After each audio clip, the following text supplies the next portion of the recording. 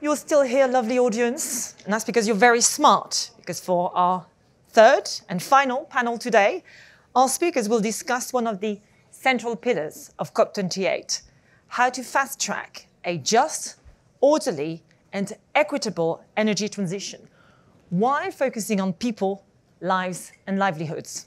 So I would like to welcome Stephanie Diaz to the stage, who will moderate this session. Please give her a warm welcome.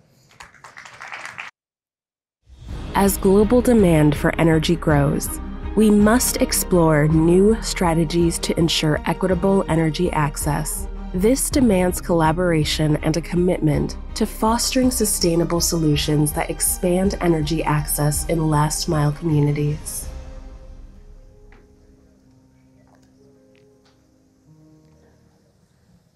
So, hello everyone. It is a pleasure to see you all here today. And moreover, it is my honor to get to moderate this panel from targets to actions, accelerating the just energy transition. Now, when we talk about energy justice, what we're really talking about here is social and economic access to clean, reliable, and affordable energy, and moreover, remediating past injustices of our energy sector. So, to talk about these topics with me today, first of all, we have Danielle Decatur, Director of Environmental Justice at Microsoft. She, she leads the Microsoft Environmental Justice Strategy towards a measurable positive impact on climate resilience and capacities of under-resourced communities. And then secondly, we have Roy Torbert, Chief Program Officer at The Third Derivative, a clean tech venture capital firm, where he is um, a clean energy and decarbonization leader. He's passionate about tackling climate change, building diverse coalitions, and protecting natural spaces. So I want to start by first just reminding us like what we're working towards when we talk about a just energy transition. And just to give you an example of what a just energy transition means to me personally, you know, a just energy transition would be my grandmother who lives in rural Honduras getting access to clean, reliable electricity around the clock, right? Um, what does a just energy transition mean to the two of you? I'll start with you, Danielle. Thank you, Stephanie. Happy to be here today. Um, for me, just transition is focusing on equitable distribution of the benefits, the upside of the clean energy transition, not just minimizing harm from our energy sector. And what about you, Roy? Yeah, thanks. Really, really great to be here. Uh, for me and my work focuses a lot on innovation and supporting startups. And I think we heard this from Dr. Kandeh Yumkella this morning as well there are so many pockets of innovation in the places of the world that are going to be hurt most by the ravages of climate change. We need to support them. We need to show them the pathway to being the icons of the path out of the dangers of climate change. And right now, unfortunately, the finance and the investment is not flowing to those parts of the world that, that are going to be hurt most. So to me, a just energy transition looks like flipping that. Mm-hmm. May, may, I add to that too? Yeah. Because also these communities d- don't have a voice and the solutions that are moving forward. And in the work that we've done, we've definitely been you know, steeping ourselves in relationships with experts in climate justice, environmental justice. Those have, have been at the forefront of this work on the front lines for decades. Um, and these communities, we always talk about how under resourced they are, and that is true. But also, these communities have such tremendous resilience um, and solutions. And so that's what our program is all about, is enabling them. Great. So you mentioned socioeconomic benefits of clean and affordable energy. Can you give like specific examples of what we mean by that? You know, it's, it's good, but like how is it good? Um, and how can we quantify and communicate these benefits effectively? Do you want to go first or? Sure. uh, so I think it means a lot of different things depending on the context. Mm-hmm. So um, some communities are paying, like in the U.S., are paying a lot of money on their energy bill every month. Um, you know, a, a, huge proportion of their energy. Uh, of their total income, um, also known as energy burden. So it might be reduced energy costs in some places. It might be access to clean electricity for the first time in other places. Um, and it might be uh, community ownership stake in renewable energy assets as well. Mm. Yeah, I think that's that's spot on. You you can't. There's no one size fits all to say here's the here's the menu and the menu is going to work for everyone. I think the most important thing is to say to these communities, you know, the the kitchen perhaps has been under resourced. You don't have all the ingredients there, but we're really going to help try and fix that. And then it's not a preset, fixed uh, approach. It's create what you want to see out of your energy system for yourself. Mm-hmm. Absolutely. Um, and now you all are doing the work of, of trying to make this just energy transition. So Danielle, I'm going to start with you because Microsoft has some very ambitious goals uh, associated with this, right? Like just as an example, you uh, Microsoft has a goal of 100% of its energy consumption 100% of the time is matched to zero carbon energy purchases. Right. Mm-hmm. Can you tell us a little bit more about the progress that Microsoft is making towards this goal and how it maintains the principles of just transition when working on these mm-hmm. goals? Yes, um, and that goal is by uh, 2030, and then we also have an interim goal by 2025 to have um, 100% coverage of our load um, on an annual basis by 2025. Um, and we're tracking towards that goal. And uh, the 100 100 0 goal has you know a, a, lot of challenges because different geographies um, require different solutions. They have different transmission infrastructure um, and regulatory landscape that to enable renewable energy. Um, but that's why um, I'm strongly making the argument, and my team has strongly accepted this premise that engaging meaningfully with communities is important to achieving those goals because you can only build infrastructure in communities that want you there. So if we enter into a community, whether we're building, um, enabling a wind or solar farm, or we are building a data center, for instance, um, it's important that we introduce co-benefits um, and design with the community from the beginning. Mm-hmm. Um, can you give an example of that? Like, what, what does engaging with a community look like? Sure. So, in uh, the early 2020, we formed a relationship um, in, with a bunch of US based environmental justice organizations, such as NAACP and Emerald Cities Collaborative. And they came, they took a chance on us, and we came together for, to form a learning community. And they learned a little bit about how corporate clean energy targets are really driving the energy transition um, just by sheer volume. And then uh, we learned, you know, what environmental justice communities are facing and those solutions um, that I mentioned earlier.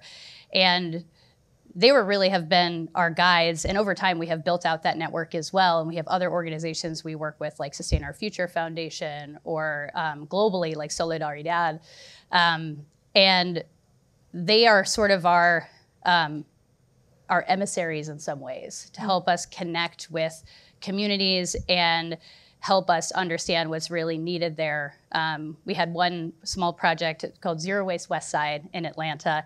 Um, it was a you know a small $200,000 grant, but we worked with our network to con- who connected us with three Black women-led organizations in that were already operating in the area and already had strong ties to the community. And they used that grant money to develop a closed loop for food waste for low income residents in that neighborhood. And then that seed money helps them attract more funding from the uh, Georgia Drawdown after that. Mm-hmm. And then one of those organizations, Goodr, has now since become part of Microsoft's supply chain. Okay. Um, to service our office buildings there in Atlanta. So that's an example of how, you know, we partnered with community organizations. You know, we just said we have some money. What do you think should be done with it? And then they told us, mm-hmm. um, and then it has led to this um, enrichment of infrastructure and an ecosystem of action in Atlanta. Okay, wonderful. And then, Roy, you, you have been working on the Just Energy Transition Program. Can you give us examples of some of those initiatives that you've been a part of and how these initiatives are contributing to both a clean energy transition and the empowerment of local communities? Yeah, happy to, happy to. And maybe I'll explain a little more about my organization. It's a little less well known than Microsoft, I'd bet. Um, so I wear a few hats. The first, most directly, is I am the Chief Program Officer for Third Derivative. We are an accelerator and a funder of early stage clean tech companies. We now support 160 companies, and that's represented across 100 countries. They're all working to try and advance a clean and equitable future. Um, they work in all sorts of technologies, from batteries to public policy and permitting to uh, new sustainable materials and, and use of waste for building materials. I also wear a hat at Rocky Mountain Institute, which is the, the host organization for Third Derivative. And for many years there, I've been helping a lot of countries in their just energy transition plans, which I'll talk a little bit about. And then lastly, I'm also a trustee of the Puerto Rico Green Energy Trust, which is the green bank helping to support Puerto Rico after its many struggles mm. post Hurricane Maria and the thousands of earthquakes that hit uh, Puerto Rico about a, uh, two years after the, the hurricane as well. Um, but really, from that, that those perspectives, I think the just energy transition is a fragile one. Mm-hmm. It is um, one dependent on a lot of financing and money, mm-hmm. but it mm-hmm. also needs a lot of community self-determination and finding a middle ground where there's enough of that shaping from the bottom up and enough of the support from the top down has never been easy. Um, a lot of my work in prior years has been with the government of Indonesia, which very luckily has, I think, a very powerful plan uh, announced uh, in Bali about a year ago um, called the Just Energy Transition Program, or the JETP. Um, that's $20 billion, 10 billion of public money and 10 billion of private money deployed for what I think of as a three-legged stool. The first leg is to retire coal assets. Indonesia has about 40 gigawatts of coal-fired power today and was planning to expand that quite significantly. Um, instead, this plan helps to retire a significant chunk of their current coal uh, with the full support of a community that is very, very invested in coal mining, which is mm. what makes this very so difficult, similar to the, the challenges that South Africa faced a year prior. That second leg of the school is uh, of the stool is to procure the new clean resources that are going to support their economic growth, and a plan now set by the government for about 34% of their energy to come from renewables, which is a very big increase from today. But the last and probably what I think of the, the, the least known but the most important, important, a common problem, is the just energy transition mechanism to help bring money and support into communities. Mm-hmm. There's, uh, you know, many, many hundreds of thousands of workers in Indonesia who are threatened by this transition, whose lives and livelihoods are entirely dependent on the coal supply chain. And that those communities also need to determine for themselves what is the right mechanism. Is it job retraining? Is it investing in new industries that can help support? Is it transferring into other parts of the renewable ecosystem? Um, but that last leg of that the, the, of the mechanism is really, really important. And I think that helps tie it together and create not just that top down, but also the bottom up solution. Absolutely. So I'm going to take a moment to welcome Nicole Iseppi to our stage. Hi, everyone. Sorry for being a bit late. The traffic was a bit challenging, despite no rain today. It's okay. You're not the first person that this has happened to today, so you're good. Um, Nicole is the Director of Energy Innovation at the Bezos Earth Fund. She is an advocate for accelerating solutions to address global energy and industry transition. Um, so great to have you here on the panel with us. Thank you very much. Lovely to be here. Yeah. Um, Roy, continuing on with you for just a sec, can you um, give us examples of specific strategies or initiatives that Third Derivative has been involved with, um, in particular in relation to like vulnerable communities and how you can help there? Yeah. I mean, there's an example I use. It might not come as a surprise to this global audience, but uh, if you tally up today all of the solar installed in sub Saharan Africa, and you compare that to all the solar installed in the uh, famously rainy and small country of the Netherlands, the Netherlands has mm. more solar. Mm. Mm-hmm. Uh, and that's an equation we really need to flip pretty quickly. Uh, so our team is working to help uh, accelerate not only the companies who are currently in our portfolio from places like Africa and Southeast Asia, but also grow the amount of applicants and the amount of activity happening there. Um, so we provide an, 18-month fully virtual program um, that allows folks to participate and has mentors and corporates uh, across the world helping to support these startups. But we also recognize that if you look at the volume of companies who are coming to us, um, it is really heavily weighted to mostly the rich world. And that's mm-hmm. a problem that we're trying to fix. So our outreach, our outbounds, the way we're trying to grow these communities, it really starts with listening and understanding the unique challenges that a startup in Lagos might face that a startup in Los Angeles wouldn't, and understanding how to use our support and our resources to bridge that gap. Absolutely. Um, Nicole, so I would like to ask you because you work with the uh, the Bezos Earth Fund, and it'd be great to hear if there's a specific um, project or initiative supported by the Bezos Earth Fund that you're um, particularly excited about, and how you think it can help make a difference in providing fair um, access to clean energy while tackling climate change. Certainly. So, um, Bezos Earth Fund is quite a new philanthropy, and we're focused on both nature and climate. But what we're aiming for, and you know, there's a large community of philanthropies out there, but what's quite distinct about us is we want to be quite bold and catalytic in the way we apply our philanthropy funds, particularly on in terms of how we can accelerate solutions in this decade. Mm. We're a strong view that this is not just about new technology and new sort of processes and business models. It's actually a whole system change. And so what we want to do is, is thinking, what is that end energy system we all want in a more green uh, economy? And let's accelerate things now in this decade and start delivering this end system we want now. Let's not wait beyond this decade.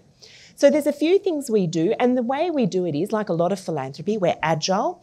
So we like to apply different processes and different applications. So if it's all right, I might be bold to give two different examples just to give different illustrations.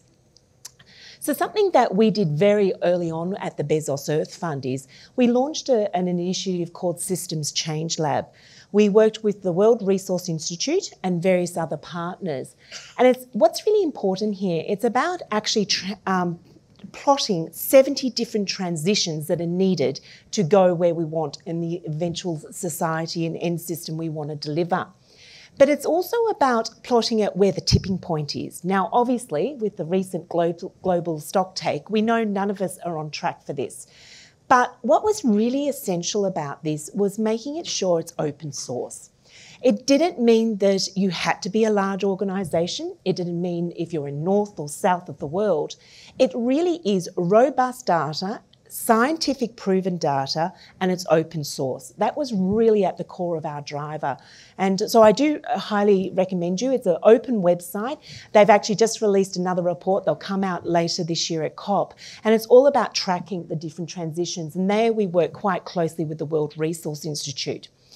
Another example we're very proud of is the GEAP, or Global Energy Alliance for People and Planet. It was created just nearly two years ago it was founded by three philanthropists ourselves, IKEA Foundation, and Rockefeller.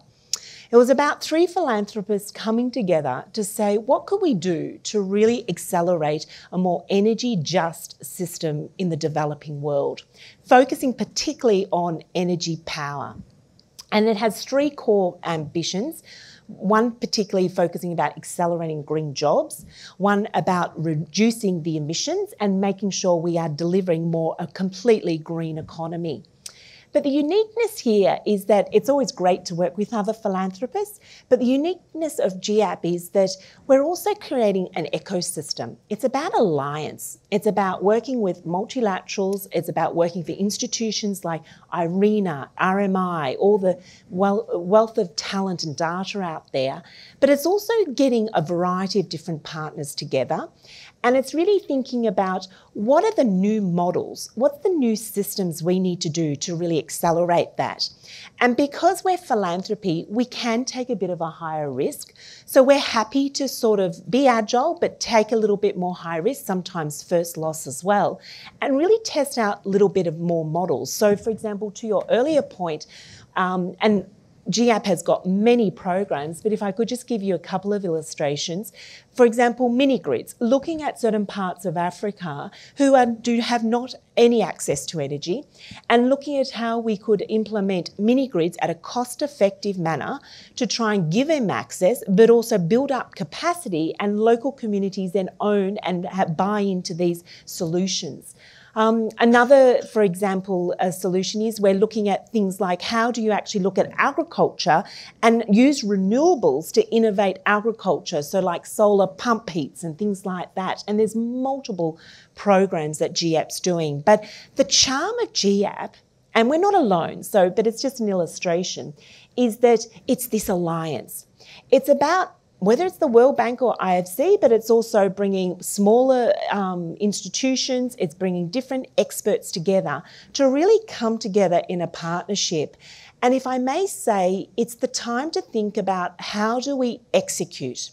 It's not just about coming together and having headlines. We should stop rewarding the industry that just comes out with headlines. Mm. We should reward those that execute. Now, I'm not saying we or the ones we partner are always going to succeed, but we're willing to give it our best. And sometimes we do need to make some mistakes to learn from that, to regroup, because we are philanthropy and we're happy to take certain high risks, especially on the technology side and R&D investments. So, you know, sometimes there is loss. But it's actually about that execution.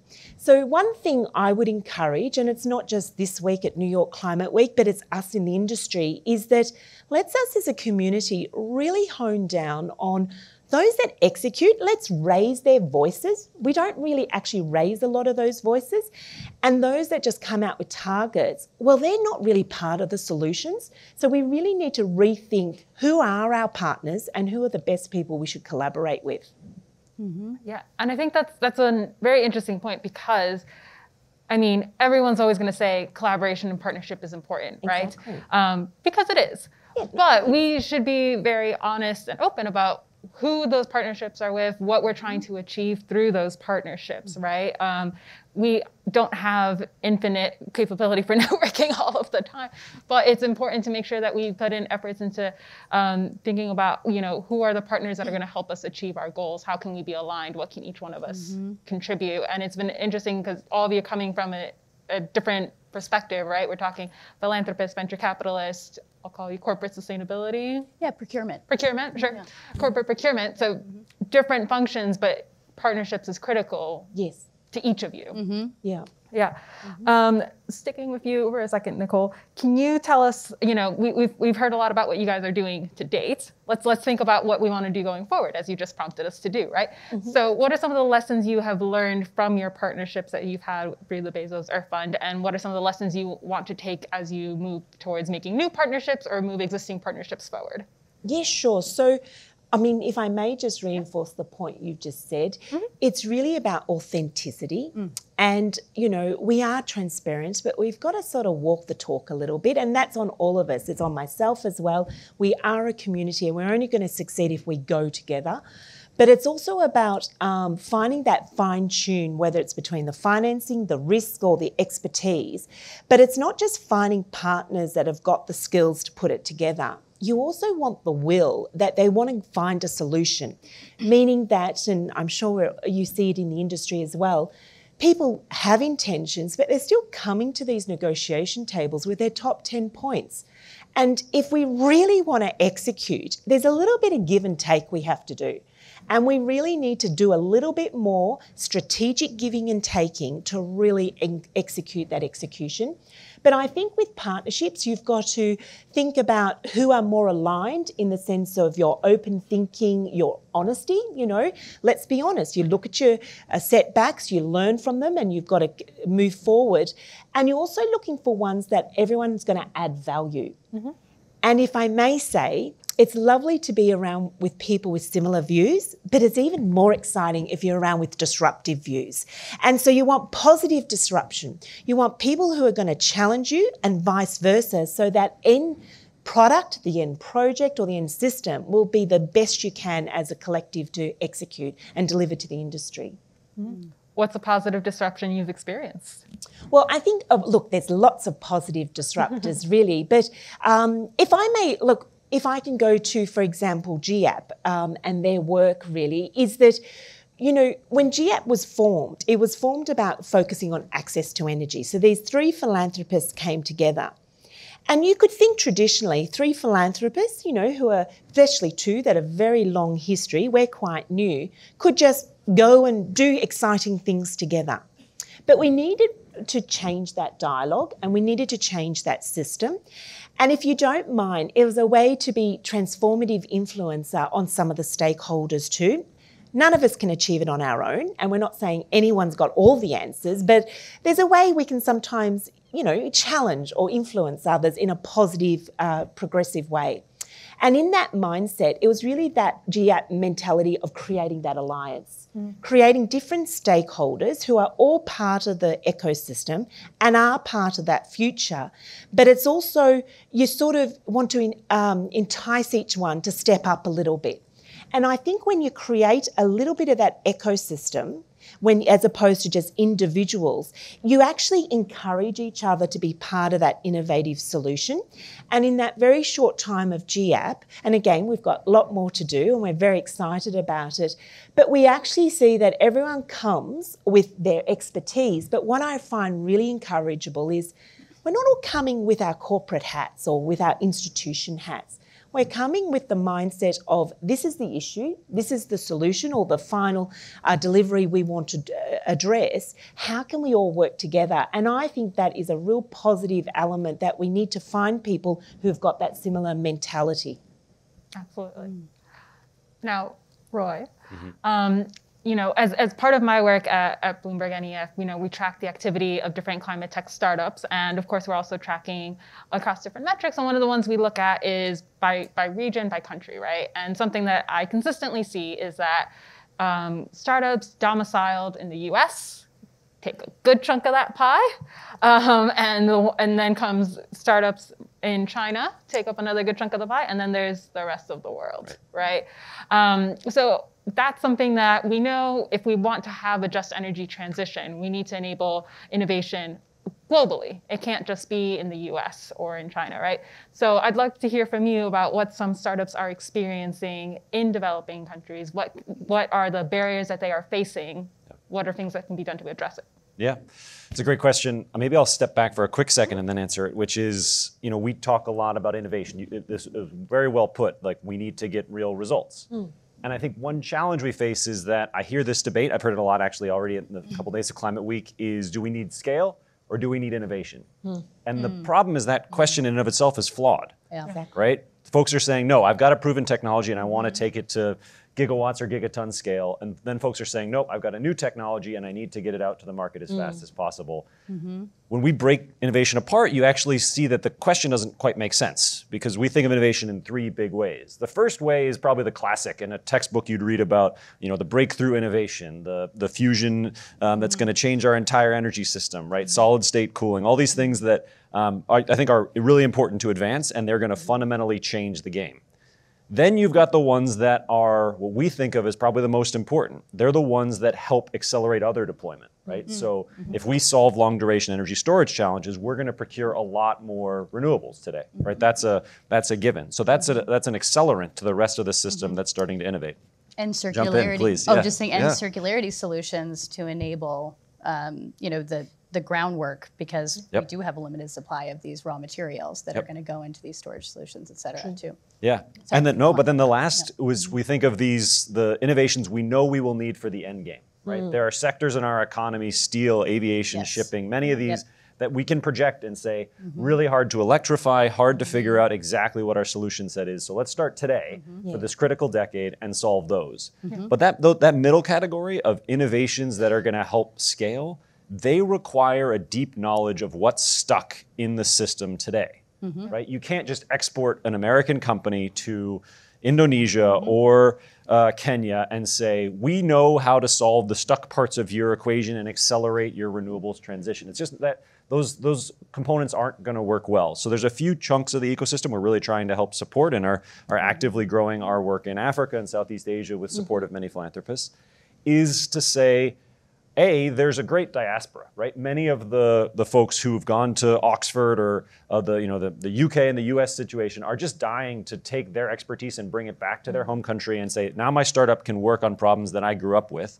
And then secondly, there's many, many folks who just don't have access to fly to New York and come here and fundraise for their startup and so, how do we get the exposure and speak in their medium mm-hmm. to say, here's how you can access the startup accelerators we have and the funding sources and bring those resources that are unfortunately now a little weighted to the rich world, mm-hmm. disproportionately start them and finish them in the world that mm-hmm. um, you know it's going to it's going to drive both the emissions and the impact of climate change in the future. Mm-hmm. Absolutely. Yeah. I know. You know, I know that Microsoft, a lot of your environmental justice work has been really US focused. And it's obviously not a matter of just taking things that work in the US and going, right. boop, now it works somewhere else. Mm-hmm. Like, that's mm-hmm. not actually the lesson we should take away. Mm-hmm. But obviously, you do learn things through doing. So, what are the lessons that we should be taking away? Yes, and it's really related to some of Roy's last remarks about scaling. And that's, that's my job is to because we, because we have these aggressive renewable energy goals, we need to be signing power purchase agreements on the hundreds of megawatts level, yeah. right? Um, and so it's my job to take those scaled solutions and make sure that we can um, there's an equitable and just approach to it. Um, one of the solutions uh, in PPAs that we uh, started with in the US is really transferable globally, and it's just the concept of a community fund. So it's basically building in philanthropy to mm. the power purchase agreement, to the price that we pay. Um, and those community funds, um, you know, I, I really appreciate um, your organization's approach to this, and I, I, I, like to think we're aligned in that um, it's not just business as usual philanthropy. Um, you know, we have learned a lot from our environmental and climate justice partners about what a just and equitable fund distribution process looks like. So um, we uh, co-created a measurement and evaluation framework for the grants that come mm. out of the um, community funds. And just to give you an, a notion of scale, the first PPA that we signed, we call it an equity PPA. Um, the first one that we signed with Sol Systems was for 500 megawatts, and it's going. We uh, publicly announced more than 50 million dollars um, would be uh, generated in a community fund. It will be more than that because of the way prices have gone up because it's a percentage of the project revenues. We did write a paper about it with contract language. So if anyone here knows anyone in corporate renewable energy procurement, please check it out because we wanted to, you know, we want folks to iterate on the model. But so the community fund distribution is guided by this measurement and evaluation framework, and the framework really prioritizes community-led solutions. Mm. Um, and those with real tangible benefits also that are hyper localized. And then we also have a governance process around how those funds are distributed, uh, which in which the decision makers about how the funds are made, uh, how the grants are made, um, are the decision makers are representative of the communities that we're trying to positively benefit. Um, and so we've learned a lot through that process and um, we've you know we have a framework now for how we identify third party um, third parties that can help us run a governance model so it's not Microsoft deciding where the money is and picking winners, you know, because um, the whole, the, the, something that I've really learned about this work is that it's not just about the outcomes. Those outcomes are super important, of course, but it's about the process by which you achieve those outcomes mm. and having that be really mm. just and equitable. Mm. So can you, Stephanie? Sorry, I, I complement that, and if I could just add to it's all about that system change, isn't yes. it? But in that system change, at the core is creating also more of an equitable justice society. And what I like, for example, through that illustration of Microsoft is that it's at its core I think we need to question some things when it's just an add on. It should never be an add on. It has to be at the central core because we're talking about that end system, those future, you know, world and what our future generations we want to give to. And it really needs to be at the central discussion as well as the program. Mm-hmm. Yeah. And then we're taking what we've learned through those big power purchase agreements and um, innovating different types of contract structures mm. to enable distributed generation, mm. because that's really going to be an important solution in a lot of emerging markets, for instance. Mm-hmm. Now, when you're when you're talking about systems, you know, and wanting to create systems change, I mean, part of it, I hope, is the goal is that you know, if we simplify and figure out a good process we can replicate it, right? Like I imagine that's some of the lessons you've learned. Once you figure something out that's really hard to do the first time, mm-hmm. it's easier to do the second, third, 4th mm-hmm. time. Um, but we don't exist in a vacuum. We exist in a set of policy and regulations yes. and things like that. So it'd be interesting to hear from all of you. You know, what are some of um, the policy and regulatory recommendations you have that would help in terms of creating this just energy transition? Yeah, I might. I can jump in here sure. first. Don't yes, mind. So, and uh, there's a uh, tomorrow is a pretty uh, painful uh, occasion in that will mark the sixth anniversary since Hurricane Maria hit mm. Puerto Rico, mm. which was one of the deadliest climate-fueled disasters in United States history. Um, I think what a lot of people don't recognize, and this sort of speaks to the systems view, is that also means two weeks ago was the uh, six-year of anniversary of Hurricane Irma, which was also one of the most powerful hurricanes that also hit Puerto Rico, and both hurricanes hit a number of other countries across the Caribbean basin. Mm-hmm. And so that was part of my work for a number of years and continues to be a, a big part of my support to the, the Green Bank in Puerto Rico. That those moments, especially right after the hurricane, exposed that the adaptive capacity of the system, the entire Caribbean system, was just massively exceeded. Mm-hmm. Uh, many Caribbean countries participate in an agreement to share resources. So after any hurricane or disaster, uh, lines people will fly from one country to another and also bring with them bucket trucks and other electrical system infrastructure to put the grid back up. Mm-hmm. But when that many countries were hit by Cat 5 hurricanes in a short period of time, there's just simply not enough adaptive capacity in the system to respond. And so I think the policy and regulatory reality, unfortunately, and we're seeing this in Hawaii and Libya and lots of other places at this current mm-hmm. moment, is that we will not be able to respond and improve the system from a stable spot. We are entering the period where climate disruption is upon us, and we have to assume that our communities are going to be struggling with some version mm. of strain, whether it's climate uh, disrupting supply chains and fueling inflation, whether it's immigration and internally displaced persons because of climate. All these are going to make the policy and the regulatory challenges of today that much harder.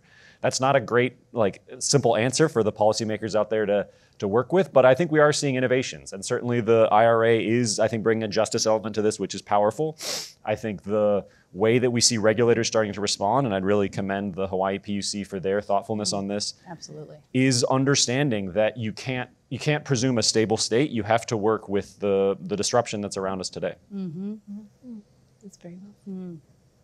Oh, I, I'll just say, the grid. We need transmission.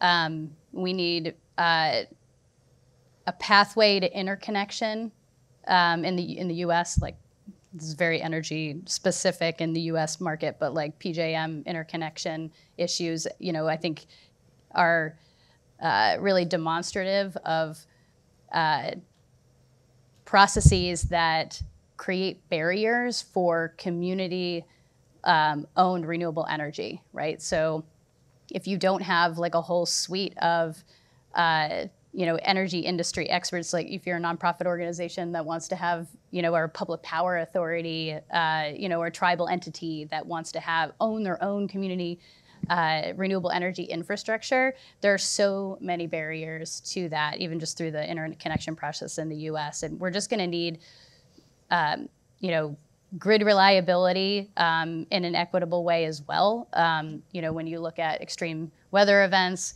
where power outages are happening, it's in low-income neighborhoods. Mm. Um, so, uh, and I think a pathway to that is is data actually. So just having that like, and again, sorry to use another U.S. centric example, but um, for U.S. like uh, the data at the census block level for grid reliability would shed a lot of light on where we really need to make grid improvements um, if we're really talking about just transition.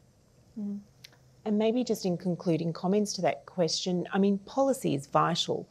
But the challenge with policy right now is how does it keep up pace with the changing of the times? And I guess that's always been a fact, but now it's even more vital than normal.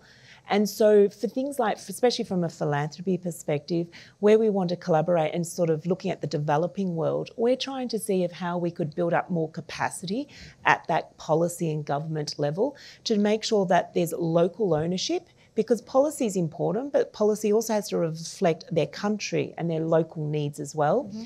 And making sure that the local people are part of the voice there, not just uh, the policy and the policy makers, but also the community, the inputs into there.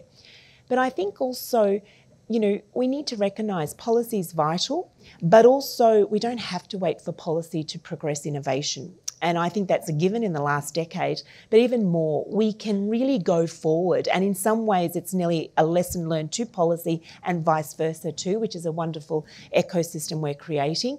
But especially in philanthropy, we've got that agility, and I'm sure others do too in the system. But we've got that agility philanthropy to really sort of try and instigate new things, especially looking at demand and supply of how things should go in different areas of this uh, sort of end to end system we're trying to to deliver.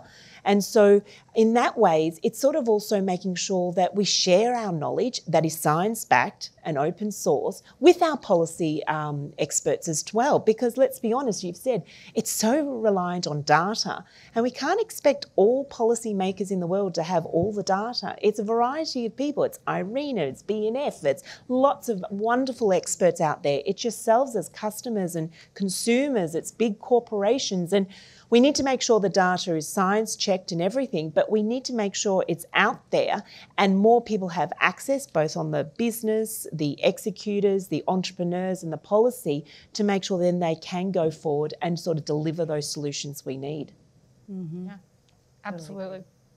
Now, I know we're like about to run out of time, but I've got one last question for you all, um, because Roy, you mentioned the tension that some people think there is between scale and speed. Mm-hmm. I think sometimes when people hear partnerships and collaboration, they're excited, but they also think, oh my God, that's so many people to bring on board, and that can be daunting. Mm. So if you had like one piece of advice that you'd give, mm. you know, how, how do you calm down those nerves when people hear, oh gosh, we need to bring everyone on board? yeah. It's a really tough question to put right at the tail end. I know. I mean, I come to the proverb, right? If you want to go fast, go alone. If you want to go far, go together. Uh, the tricky part is we have to go fast and we have to go far, and we can't leave people behind anymore. Yeah. And so I think the, the the power that I've seen in the few instances where I've really seen this succeed is a pretty dramatic stepping back from egos and stepping back from positions. You know, sort of mentioned that like the folks who come to the table with their 10 talking points and their goal in the meeting is to read them down and try and, you know, hammer the rest of the, the room verbally with their talking points. That's the exact sort of discussion and collaboration mm-hmm. that I think impedes what we need. And so I think that release of the positions and mm. acceptance of the challenge as a first step, to me, that's the only mm. way we can get there. I might just add, if I may, and this is something I've learned from our advisors, our environmental justice advisors, is we can only move at the speed of trust. Mm-hmm. Good, well said. And I would just add, especially from a philanthropy perspective, is that we're very conscious. It's a live eco ecosystem we're operating in. So everyone's got a role. And for philanthropy, it's not just doing good obviously we want to do good. It's doing more than that. It's in that live ecosystem. Where are the gaps and what can we do to collaborate but to really accelerate those solutions? So it's actually being quite strategic because the worst thing, particularly philanthropy can do is do good, but you slow down that ecosystem because we're grant based and we don't want returns on our actual funding. So we need to, and we are, and our collaborators in philanthropy are, but we need to be strategic in that live ecosystem. Mm. Absolutely. Yes. Well, thank you all so much. Everyone, please join me in giving them a round of applause. thank you to our wonderful moderator, Stephanie.